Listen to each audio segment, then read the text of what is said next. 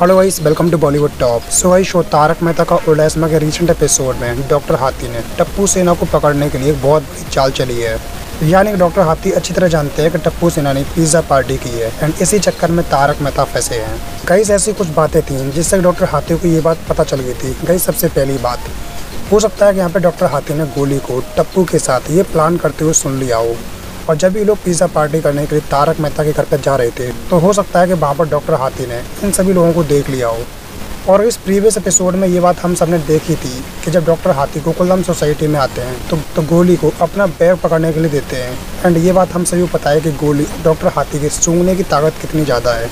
और ये बात गोली कई बार प्रूव भी कर चुका है। जब भी जेठालाल गोकुलधाम सोसाइटी में से कोई खाने का सामान लेके जा रहा होता है, गोली उसे तुरंत सूंघ के पता देता है कि आखिरकार जेठाल के पास में क्या है? तो हो सकता है कि जब गोली को डॉक्टर हाथी ने अपना बैग दिया हो तो उस समय पर उन्होंने पिज़्ज़ा, उस समय पर डॉक्टर हाथी को गोली के मुँह से पिज़्ज़ा की स्मेल आ गई हो। और इस इन सब के अलावा सबसे बड़ा रीज़न ये भी है, तारक मेहता जैसे समझदार आदमी पिज़्ज़ा जैसी बात के लिए किसी भी बात को इतना बढ़ावा नहीं देंगे।